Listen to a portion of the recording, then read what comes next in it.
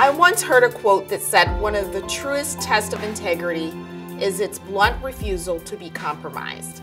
As professional realtors, we always strive to live by the Realtor's Code of Ethics.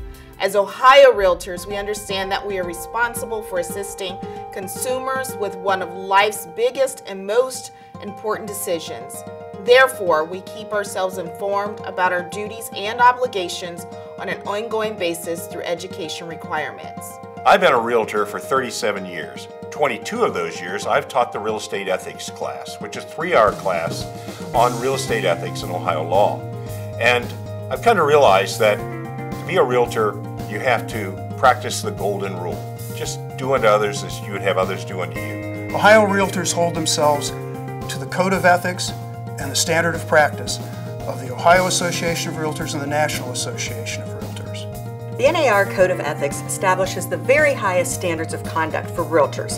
This includes a duty to act with integrity and honesty in all of your business dealings, including those with your clients, other realtors, and other professionals involved in a real estate transactions. High moral standards and values are key to professional real estate transaction. Real estate is a complicated business, and sometimes we need to stop and think and decide what is of the benefit to our clients and our customers, our fiduciary duties, and never forget those fiduciary duties. When given the opportunity to represent the real estate interests of our fellow citizens in Ohio, we recognize that along with that comes the additional responsibility and obligation to a higher level of honesty and integrity than the average licensee.